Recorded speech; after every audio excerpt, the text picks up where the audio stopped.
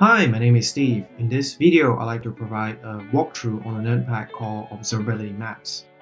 With the rapid adoption of efficient message queues such as Apache Kafka, proprietary communication protocols, or high-performing RPC such as gRPC as commonly seen in the Golang community, this Nerdpack is intended to go beyond the traditional automated maps that you've seen in the market. We strongly believe that you know your environment better than us and we want to give you the ultimate freedom to create the ideal map in your environment. You can get complete visibility into metrics, events, logs, and traces all in one map. This map right here is also open source and available to install from our New Relic application catalog. Here is the end result of my personal map. In this map, I have a mixture of data collected by New Relic, such as browser, mobile, synthetics, APM, and some services which I don't have any New Relic data at all. I also can add open source telemetry such as Prometheus by using the Prometheus OpenMetrics integration. And to make it better, once my map is completed, I can share it as a JSON file and store it in GitHub for architecture peer review and version control. This option is extremely useful for software architects where you can define key metrics for each app or each service and have a bigger view including services that might not be collected in New Relic. So right here and right here, these are the examples where I have third-party services which don't have any data, but I can still create custom node to have a better view of my whole environment. Once the Nerdpack is installed, just proceed ahead by creating a blank map. Just go up right here, create map, give it a name, and off you go. To save us some time, I have a blank canvas which this is the landing page you will see when you first create the first map. After that, just remember to go here and click add a node. Select a type. Just for this example right here, let's go with entity to start with. And remember to select the domain right here. After that, just remember to select the account of your choice. In this example, we'll be using our demonstration data. And remember to select on Fetch Entities. Here, you can go through a list of applications that you have, or you can type directly in the search box. Click Add, and you see you should see your first node appearing on the canvas. Just drag in the middle. And if there's New Relic agent installed the app, when you hover your mouse over, especially on the top, you should see a set of metrics available already for that node. Now let's add another service, but right here, I'm going to use a thing called view connected entities. If remember to right click, and you can actually click right here called view connected entities. And if the new Relic agent is able to see dependencies automatically between apps, when you click on this option, you should see a list of services that you can actually add already right here. So I'll keep it simple. I'll just add my plan service, login service, and inventory service. And you can see it's actually appearing the UI already. Just grab, grab it to my backend, just drag it. And now I'm going to go through the same exercise again by adding on the front end. Go to nodes, select type, entity. This time I'm going to add something on the front end, browser, select an account, fetch entities. I'm going to do the same, I'm going to go through the same process, view connected entities. You can see I have some examples right here, but this time I want to add them automatically in the canvas. Right click, I can add them automatically using this function called add connected services. All right, so you can see here it's starting up quite well. We can see some nodes already right here. Now, what if I want to delete? What do I need to do? Just move your mouse, click on the node, right click, delete right click again, delete. Now, let me show you another example right here. What if I want to add a custom node? Go to nodes, type, select on custom, and give it a name. So this time I'm going to use API. And click on create. Drag my custom node, I'm going to move it to the back. Now, one thing you've noticed right here with my custom node, it has no awareness that this custom node maybe is connected to a specific service right here. If I want to do that, what do I need to do? Just remember to go up to right here, links. And what we can do here is we can actually connect those links together. As seen earlier, if the New Relic agent can see the dependencies, you can add them automatically via add connected entities. However, this option right here, what if you're using something like non-HTTP traffic or apps that doesn't have New Relic agent installed? You can actually do this manually via manage links. So to add a link, you must select a source. This example right here. I'm just going to use login. And I'm going to select a target node. In this example, I'm just going to use the custom node I'm I created earlier. Click add. And just that, I can just add and connect them together. This is especially useful if you have a lot of custom nodes. You can actually add those connections manually. Likewise, you can do the same to delete links between each source right here in my target node.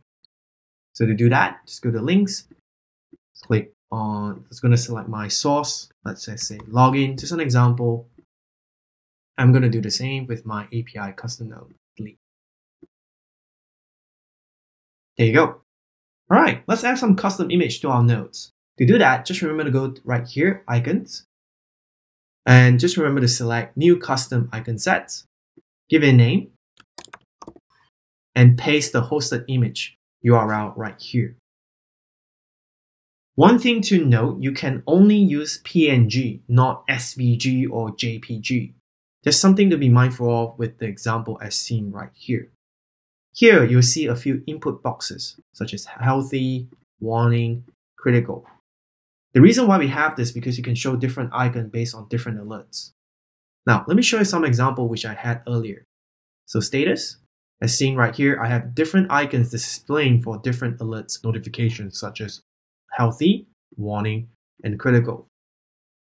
So this is actually mapped directly to the New Relic alerts, so you actually can change different icons based on the different alerts notification right here. Now, especially for custom nodes, if you have, don't have any New Relic data, such as API right here. Healthy is the default selector for custom nodes if you don't have any pre-configured alerts. Now, let me show you this example right here. Let me go to web portal, click edit, to add a custom icon set right here, just select the one that you created earlier. In this example, I'll be using status. There you go. I've loaded my healthy icon set right here. Now for this particular icon right here, as mentioned earlier, we automatically pick up the status and information from all the alert status for this particular service if it's monitored here in New Relic. So here for plan service, I'm going to use this same example right here. Go to status. Now this is showing me the warning alert. So if I go to icons, this is actually showing this part right here. So as mentioned earlier, you can actually put different types of icons for different type of alert notification for your specific node. Now for custom node, just go to right here, edit, and this time I'm going to show you this same example, API. And this, as mentioned earlier, this is using the healthy default URL as seen earlier, right So hopefully you can add more icons as seen earlier on my completed map. I have quite a lot of different icon sets and already input in the environment and just feel free to go ahead and customize the map according to your uh, that you want in your environment. Now, one thing is, leveraging New Relic's powerful telemetry platform, we can actually write custom queries to display any data type that we want on the map. It could be front end, it could be back end, or custom events of choice. Now, we don't have a lot right here, so let me go back to my completed map. So what do I mean by that? Like for example, when I hover my mouse, I can see a set of default metrics is already provided to me. But what if I want a specific metrics of my choice? So let me show you some example. When I click on web portal, it gives me, let's say, the request per minute. If let's say when I go to another backend web portal, it gives me my errors count for a specific time frame. When I hover my mouse, let's say this example, it give me the percentile. And let's say going back to plan service, when I click on right here, it give me the latency right here. Now, this is something that's possible. There's several ways you can do this, and let me show you an example right here. So let's just say, let's go to an empty node right here. Just click on edit, and several ways you actually can put in the new relic query. You can do, right, just remember that you can go to hover metrics, custom NRQL right here, or you can actually go into the main chart right here. You can also can do for custom alerting, which I'll show you later on. Now to start this process, just go into the New Relic dashboard that you're going to create or you already have one right here, which I'm going to show you an example later on.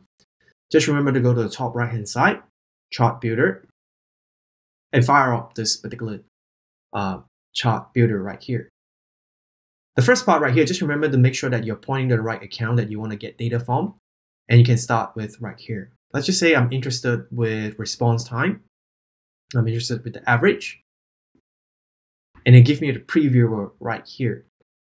But the one that I really want to show you right here is you can start with the basic mode. This is the basic mode that you see right here.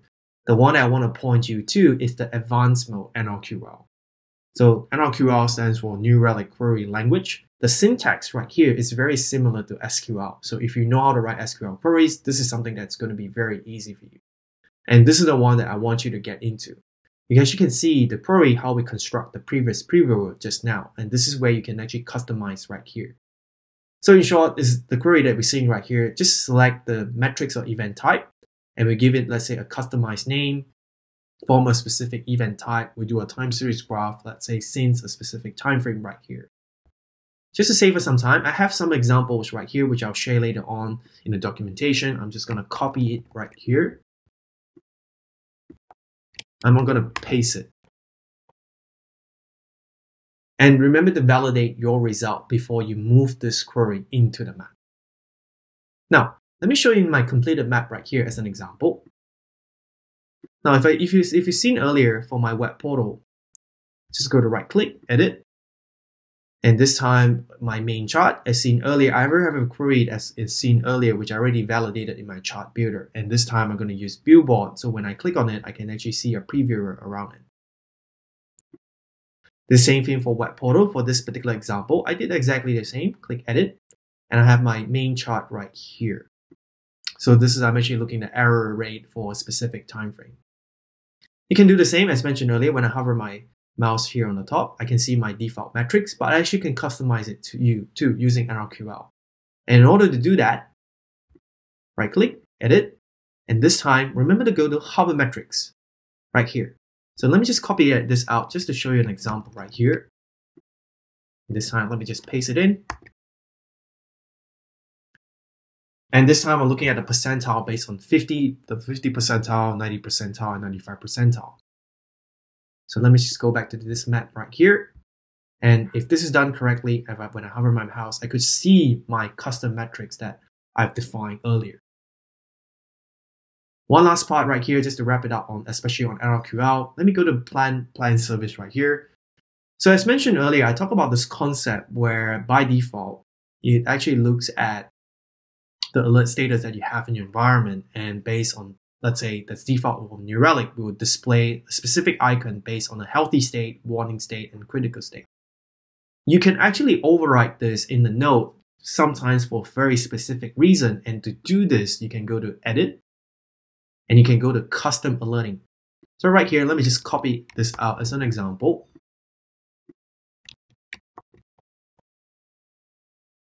And here, just remember to validate that and you can do exactly for custom alerting.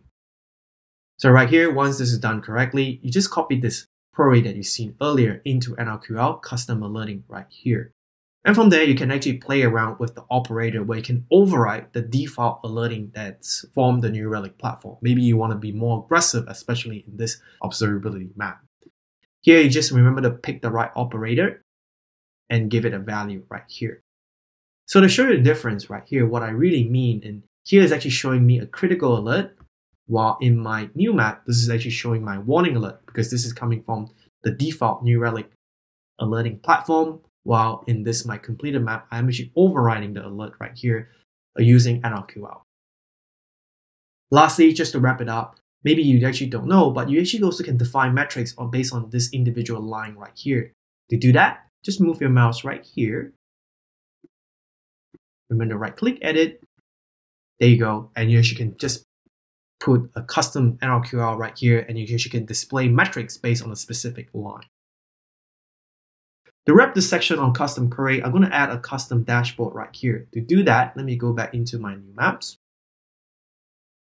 Right here, all the custom dashboard in New Relic start with the queries I've shown you earlier. the beauty about observability maps is you can associate the dashboard to a specific node too. So for example, in order to do that, remember to go to edit. I go to my dashboard right here, just select the account, batch dashboard. Now right here, I do have a lot in this example right here. Now I did show you this dashboard earlier on, and we're going to use this example to start with. Let's go back to my dashboard right here. So as you can see, it matched exactly the name that I have right here. And now I'm going to select select and save. Now, once this is done correctly, you should able to do this. Select edit, sorry, right click, and you go to view dashboard right here. And you'll see exactly the dashboard I've seen I've shown you earlier. So this is quite useful too, especially for a specific node. Not only you can attach specific dashboard around it, you can put your custom metrics, you can put a lot of customization out around a specific node. So we want to, as mentioned earlier, we want to give you the ability to actually display any metric type that you have in mind for a specific node. Now, one last thing is just to wrap it up on a few things is you probably notice distributed tracing and logs right here. So New Relic offers distributed tracing for monitoring and analyzing modern distributed systems. You actually can see software requests end to end and troubleshooting is easier and faster once you enable it. Distributed tracing does this by showing you the request it travels through a distributed system. One thing to note, this is only available once distributed tracing is enabled through the configuration settings. So I will provide all the links right here. Just remember to enable this in your environment. Once this is done correctly, let me go back to my completed map right here. Just click on a specific node, right click, and I want to look at view distributed traces.